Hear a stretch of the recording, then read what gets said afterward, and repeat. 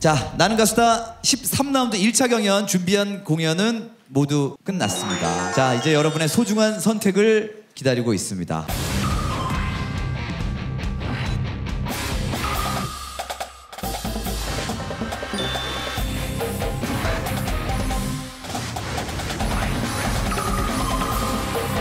자, 그러면 오늘 최종 우리 매니저 아, 결과 한번 보도록 하겠습니다. 저는 그 현우 형 오늘 아주 그 성적 오. 좋았어. 어, 고맙습니다. 아 정말 네. 좋았고요. 이현우 씨는 제가 중학교 때 굉장히 좋아하던 팬이었습니다. 음. 그 시절로 돌아가게 만들어 주셨어요. 소녀를 만들어 주셨다. 경호 오빠에게는 왜? 왜냐면 이제 점점 더 많은 걸 내가 바라게 되는 것 같아.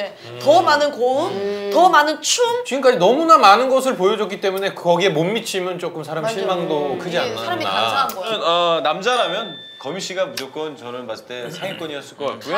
조금 아쉬운 게 있다면 신효범 씨 같은 경우는 잘 노래를 잘 모르겠어요. 모르는 노래인데요. 신효범 씨니까 그냥 4위 줬어요. 어 그냥 그냥 잘하시니까요. 그냥, 예. 브랜드 파워인가요? 네, 브랜드 파워요. 브랜드? 듣기에 너무 좋았고 잘하니까 그냥 저는 예상 1위 가지고 신효범이 레전드 그대로 저구 씨 아주 환상이었습니다.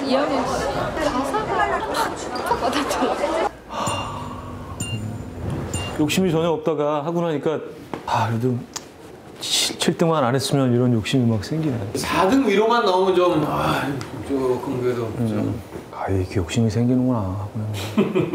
아, 좀 아쉬웠어요. 좀 덜 떨었더라면 아, 조금 했는데 아니야. 네 I'm okay Flag.